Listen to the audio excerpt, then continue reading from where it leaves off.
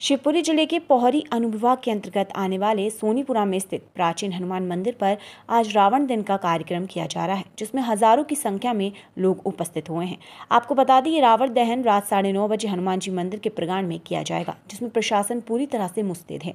जानकारी के अनुसार सोनीपुरा के हनुमान जी मंदिर के प्रगाण में हर वर्ष की भांति इस वर्ष भी तीस फीट के रावण दहन का कार्यक्रम किया जा रहा है, जिसमें हज़ारों की संख्या में लोग उपस्थित हो रहे हैं। वहीं प्रशासन की हर वर्ष की भांति इस वर्ष भी काफ़ी अच्छी व्यवस्थाएँ रहीं।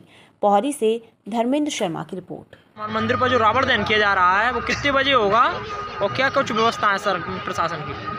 जो सोनीपुरा हनुमान जी मंदिर पर जो रावण दहन किया जा रहा है वो आपकी जानकारी के लिए मैं बता दूँ साढ़े नौ बजे करीबन किया जाएगा।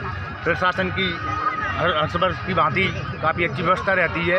उनकी देख रेख में जो रावण जलाया जाता है यहाँ मैं आपकी जानकारी के लिए बता दूँ कम से कम हज़ारों की तादाद में पब्लिक एकत्रित होती है। कितने कम फुट का कम- रावण बनाया गया है यहाँ पर?